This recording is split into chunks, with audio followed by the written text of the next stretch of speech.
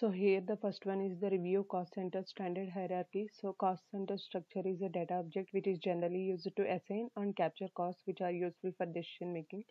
So here a cost center is an area of responsibility within a company. So here we are taking uh, NA double zero uh, that is GBA North America as a controlling area. So here you can see uh, the whole structure of GBA North America. So this is the root folder and these are the subfolders. So these are the second level elements so that is corporate administration and financial ones. So if you want to see third level elements, so if you click on this one, you will get all the third level elements. You can also see the entire structure and uh, here you can clearly see the executive board and uh, the members who are involved in this structure and everything.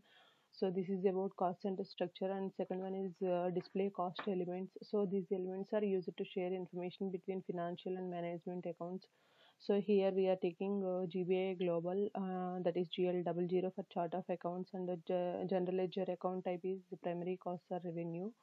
And the view is chart of accounts view. So if you click uh, if you select all these three filters then it will be displayed like this. So here you can see all the things like sales revenue uh, labor expense and rent expense everything. So here we are choosing uh, the first one that is uh, this one the labor expense one. So if you click on this one you will get the details like this. So here you can see chart of accounts GBA global and account type primary costs or revenue.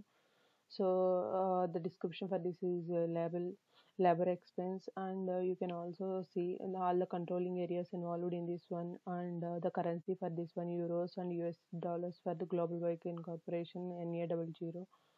And if you are selecting uh, the other things uh, labor one then you can also see the same details like its uh, account type is secondary costs and the text for this is labor and the controlling areas and the currency which are involved in everything you can see here.